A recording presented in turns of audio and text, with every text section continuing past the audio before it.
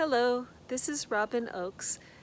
I'm sending you this message from Boston, Massachusetts, in the United States to wish you the happiest of BIPLUS Pride celebrations.